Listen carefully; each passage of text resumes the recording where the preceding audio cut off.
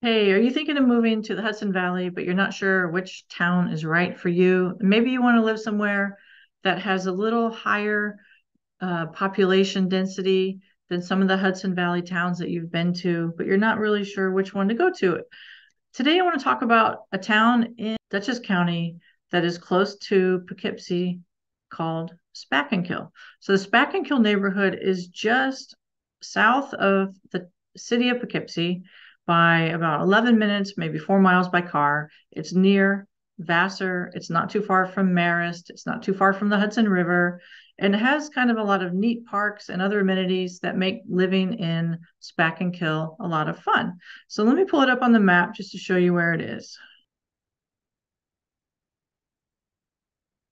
All right, so the Spackenkill neighborhood, as you can see on the map, is just south of Poughkeepsie.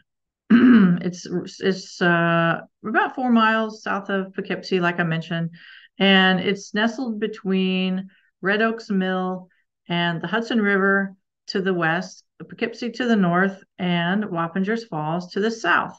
So it's in one of the more densely populated areas in Dutchess County and actually in the Hudson Valley overall. This east side of the Hudson River which runs uh, north and south along Route 9, is one of the places where you'll find most of the shops and restaurants and um, different kinds of things that people like to have that make living in an area convenient.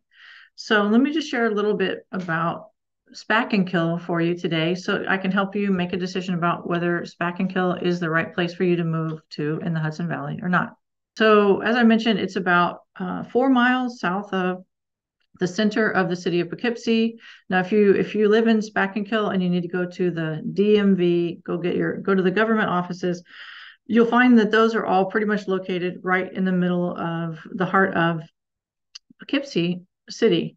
And in that area as well, like here's City Hall right here, the post office, um, the DMV's in there, and all that kind of stuff. You got Millhouse Brewing Company, you have uh, Schatzi's Pub and Beer Garden, you have the Chance Theater, you have the Bardavon Theater, uh, and uh, it's a it's a pretty neat place to be if you are in Spackenkill because you can go north to Poughkeepsie to get some of your stuff done up there, or you can head south on Route 9.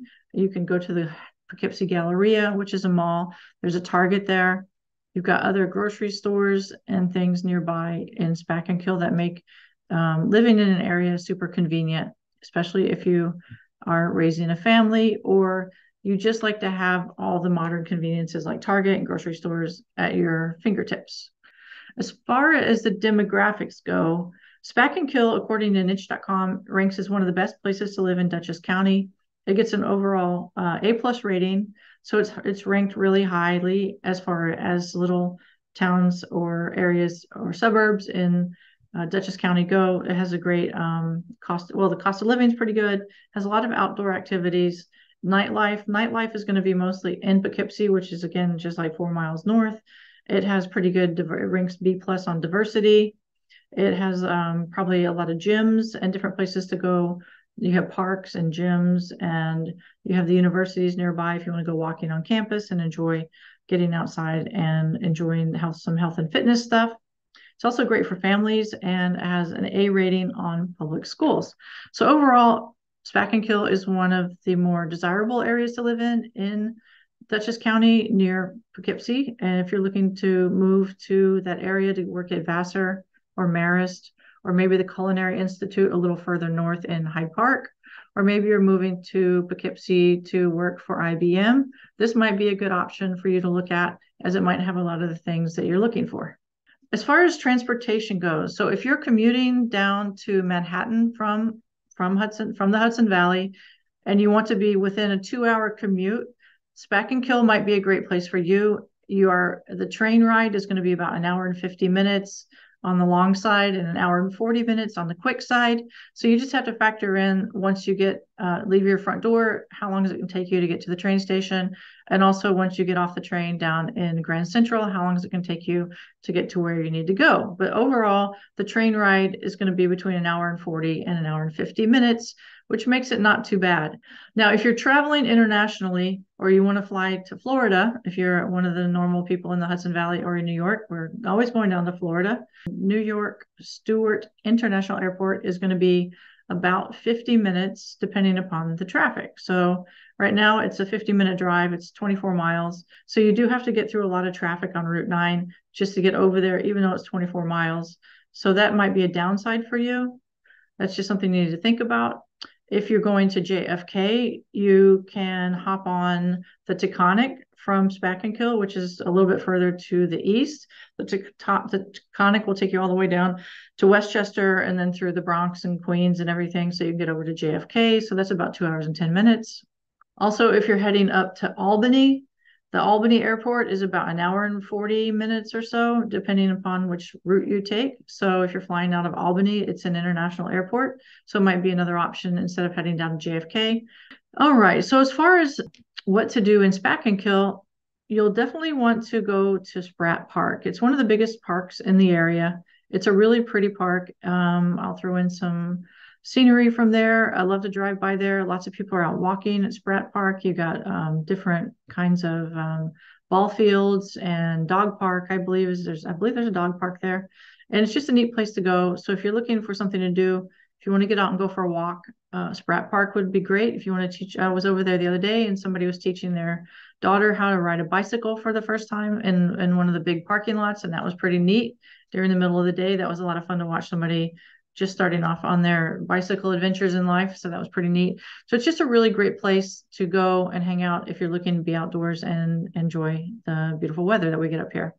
All right, so Spackenkill is also close to Poughkeepsie, which is the home to Marist and also the um, home to Vassar. So you got two great little universities in the area and the thing I love about university towns is you have a lot of stuff going on on campus. So if you're always if you're looking for arts or music or museums or sporting events, you can always go to Vassar and Marist. They're very uh, Marist is very athletic. They have great they have a lot of really great sports there. So it's a really great place to go. So I highly recommend getting involved with those two campuses if you're moving up to the area. The Culinary Institute is also not very far away. It's a little bit further north um, of Poughkeepsie. And it's right on the Hudson River. They've got some great restaurants there, so you can book a reservation and go eat and enjoy some of the amazing food that's coming out of the Culinary Institute. So that's pretty neat. And also, let's talk about home. So, what are the what's going on with the home prices? So, in in the Spackenkill area, I just pulled up the recent stats from today. Um, in the last 30 days, there has been an increase in inventory. There are 21 homes on the market, but overall, the, the whole market is down about 30% over its normal inventory levels. So this time next year, you might have 30% more homes. So there might be more inventory to look at. Um, so that would be great. Right now, the average home price is $457,000. So that gives you a pretty good idea of the average home price. Now, you can get stuff for less expensive and you can buy homes for a lot more expensive, just depending upon what you're looking for. One of the things I do like about the homes in the Kill area is that a lot of them are on quarter acre, third of an acre, half an acre, sometimes an acre, you, or even more. You're getting a lot more house, you're getting a lot more land for some of the same home prices that you might find somewhere else. Like where I am in Beacon, a $500,000 house is going to get you about a 0.15 acre lot. Um, in uh, the Kill area, a $500,000 house will probably get you a half an acre, a quarter acre. So it's just, you get a lot more land. It's nice to have a lot of greenery. So if you're looking for a yard, you want a nice backyard, a nice front yard, you want to have nice flowers around, and you want to be able to spread out and not just be able to reach out the window and touch your neighbor's house. Spackenkill might be a great place for you. A lot of the houses that were built in the Spackenkill area are raised ranches, ranch homes. You have a lot of the mid century modern homes. You have a lot of the 1950s rambling ranch houses. Um, so, a lot of the people who have lived in the Spackenkill area have been there for a long time and are just starting to downsize and move away or their family ends up with a property and puts it on the market. So not everything has been updated. You do have other people who are coming in and buying some of these houses and fixing them up. So you might get an updated kitchen, updated bathrooms, updated flooring, new paint, new light. It just depends on the house and the price point that you're looking in. So the best thing to do is go on to um, my website and search for homes for sale in Spackenkill, and it will bring you up with a great list of the current inventory in Spackenkill. If you're thinking of moving to the Hudson Valley and you're not sure if Spackenkill is the right neighborhood for you, give me a call. I'd be happy to take you there and show you some houses in the Spackenkill area. It's just south of Poughkeepsie. It's conveniently located. It's a great area if you want to be close to everything, but still feel like you have a lot more green space around you. As you can see, just by looking at this map, you can see just how green it is and how nice um, it could be to live in a place like Spackenkill. So go ahead and give me a call. I'm happy to help you. Whether you're looking to buy a house now or in the future, seven or 70 days from now or seven months from now, go ahead and give me a call. I work with people just like you who are moving to the Hudson Valley from out of the area and they're not really sure where they want to live. I'm always happy to help people talk to them on the phone, have a Zoom call, help you find the right place for you. So go ahead and give me a call. And before you go, please like and subscribe, smash the like and subscribe button. I would appreciate it. And I hope you have a great day. Thank you.